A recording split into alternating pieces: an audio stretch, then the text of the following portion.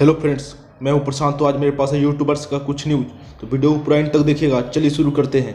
पहले हम बात करने वाले हैं इल्बिस यादव के बारे में। इल्बिस यादव और थारा भाई जोगिंदर का कोलॉब वीडियो देखने को मिल सकता है। जी हाँ गाइस इल्बिस यादव अपने ब्लॉग वाले चैनल पे एक वीडियो डाले जिसमें वो थारा भाई जोगिंदर से मिलने की बात की। उन्होंने क्या कहा आप खुद सुन लीजिए। अच्छा अच्छा। चल कोई ना भाई। ओके नु तो बता दे भाई मिलोगे कहाँ तो तुम बड़े आदमी हो गए हो। भाई बड़े तो तुम हो तुम बताओ कहाँ मिलना है कब मिलना है? भाई तुम्हारा घर है यार तुम्हारा घर है जब मर्ज़ी आ जाओ। सिस्टम के साथ मिलोगे भाई में मिलोगे तो चलिए आगे हम बात करते हैं एम सी स्टैन के बारे में। जी हाँ गाज हाल में हिंदुस्तानी भाव लाइव आए थे। उनसे एम सी स्टैन के बारे में पूछा गया तो वो क्या बोले आप खुद सुन लीजिए। अभी बात हुई मेरी। शिव के साथ भी हुई। एमसी स्टैंड से बात करने गया मगर अभी वो थोड़ा बिज़ी था। बुबा के साथ।